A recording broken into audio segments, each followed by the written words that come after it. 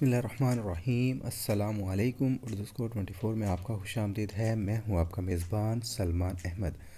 ناظرین، آج سے چند روز قبل انڈونیشیا میں ایک مسافر طیارہ حادثے کا شکار ہوا، جو کہ پرواز سے چند منٹ بعد ریڈار سے غائب ہونے کے بعد انڈونیشیا کے جاوا نامی بڑے سمندر میں گر کر تباہ ہو گیا، جس کے بارے میں ابھی تک اطلاعات یہ ہیں کہ ایک مسافر بھی زندہ نہیں بچا، جبکہ طیارے کا بلیک باکس بھی تلاش کر لیا گیا لیکن کل سے پاکستانی سوشل میڈیا اور دنیا بھر کے سوشل میڈیا پر ایک تصویر بڑی تیزی کے ساتھ وائرل ہو رہی ہے، جس کے حوالے سے بتایا جا رہا ہے کہ تین دن بعد بچے کو سمندر سے زندہ نکال دیا گیا۔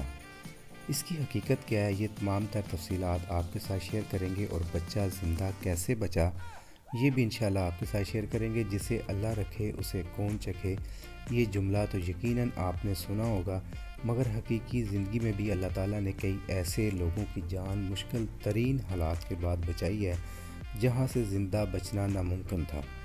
اب جیسے آج کل سوشل میڈیا پر وائرل ہونے والی اس بچے کی تصویر کو ہی دیکھ لیں، ناظرین، انڈونیشیا طیارہ حادثے کے بعد ریسکیو کا عمل ایک ہفتے بعد تک بھی جاری ہے اور جاوا سمندر سے لوگوں کی لاشیں نکالی جا رہی ہیں۔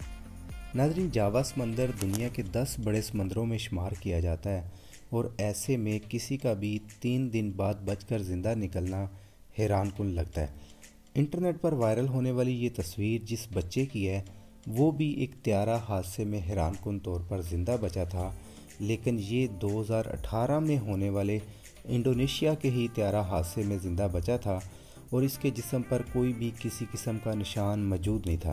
اس بچے کے متعلق یہ بھی بتایا جا رہا ہے کہ اس بچے کی والدہ اس کے ساتھ موجود تھی اور لائف جیکٹ صرف ایک تھی، جس سے کوئی بچہ ہی نیچے جا سکتا تھا۔ تو ماں نے اپنی جان کی پرواہ کیے بغیر اس بچے کو لائف جیکٹ کے ذریعے نیچے پھینک دیا اور اللہ تعالیٰ نے اس بچے کو بچا لیا۔ اللہ تعالیٰ نے اس بچے کو زندگی بخشی جو کہ دو ہزار اٹھارہ میں ہونے والے تیارہ حادثے کے تین دن بعد ریسکیو ٹیموں کو ملا تھا۔ جی ناظرین، یہ تھی حقیقت۔ انٹرنیٹ پر تیزی کے ساتھ وائرل ہونے والی تصویر کی اپنا اور اپنے گردنوا کا بھرپور خیال رکھیے گا۔ اللہ حافظ۔